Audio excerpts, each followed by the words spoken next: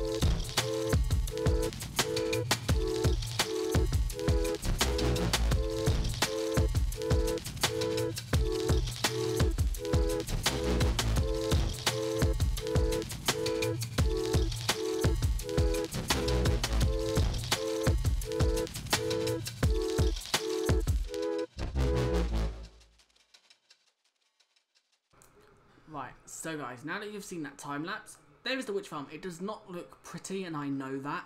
It looks like a horrendous mess. Um, and I am aware of that. I'm not making it look good first. I want to make it look, uh, actually work before decorating it. Because if it don't work, then I've wasted a lot more time decorating it as well. I AFK'd here, up here, um, just after I finished the time lapse. Just to see if mobs would spawn. Once again, it's about 105 to 10 blocks above uh, the top layer here. And I got a couple of witches. I also got some other mobs, so I'm going to have to figure out how to... Okay. There's some here, which is a good thing. Um, I thought I disabled it from spawning. Yeah, I don't know how to make, like, skeletons, creepers, and that not spawning here. I'm going to have to try and see about that. But what I'm going to do is I'm going to build um, the kill chamber and the... Uh, the kill chamber and all that, and I'll be back in a second once I've done so. Right, so guys, as you can see, I'm in spectate mode and there's loads of dots around. They are uh, a data pack that shows me where mobs can spawn when I'm standing, uh, as you can see on that block there that says center. So I've done the kill chamber, which is sending them up from down there all the way up, 24 blocks above my FK spot, which will then drop them down here, and I can either kill them manually or I can put a magma block there and kill them. But what this is showing is the red dots here, mobs cannot spawn there because they're too close. The orange dots on the outer ring here uh, are mobs that can spawn because obviously it's the reach limit, what, 24 blocks, uh, 120 uh, or 100 and whatever blocks is far enough away. So mobs can spawn in, there's a uh, skeleton horse there, mobs can spawn in like this whole area here. So that either means I need to remove it water over it or make it spawn proof, which is done by uh, what water logs, slabs, buttons, uh, stuff like that. Um, why have I gone really slow all of a sudden? There you go. Right, I'm going fast again. But yeah, so what I need to do is go around and just remove all of these little islands here. They're uh, stopping mobs. This is going to be the hardest part. Oh, I didn't know mobs could actually spawn up here. Waterlogging it would probably be the best thing. Um, same with all this over here. So what I'm going to do is I'm going to quickly water over all this and slab it all over and I'll be back once I've done that. Right, so guys, I have lit up, um, not lit up, made all that spawn proof. As you can see, I literally just spammed water everywhere. All that over there, mobs can't spawn in, neither can that. And you can see where they can spawn. I have watered over. That is literally, I was literally just panicking, spamming water buckets everywhere because I haven't got long till this video has to actually be up. So I wanted to get it done. But as you can see, there's water everywhere. I don't want it, it don't need to look nice, so I don't really care about that. But at least the witch farm is working. All I need to do now is do it so only witches can spawn up here. Because at the moment, any mobs can spawn and come up here to die. So I need to do find a way of manipulating it so only witches can spawn down there, and I'll do that after this video. Uh, I'm going to AFK it overnight, and you'll see me in the next video, and you'll know how much loot we've got. I'll quickly build a storage system and all that um, off camera. But yeah, so that is actually going to be the end of this episode. I'm going to AFK it overnight, and I'll see you guys in the next video and show you how much loot we got from this farm. Hopefully a lot of redstone and a lot of uh, bottles because they're the two things we need. But if you did enjoy it, leave a like and subscribe. Don't forget the link for the Discord will be in the description down below. I will also link uh, the Vanilla Tweaks website so you can get that uh, spawning uh, data pack if you would like it. Um, and also there are some other uh, data packs. Most data packs I use I do actually get off um, Vanilla Tweaks because they've got some good data packs on there. So I will see you guys next time. Bye.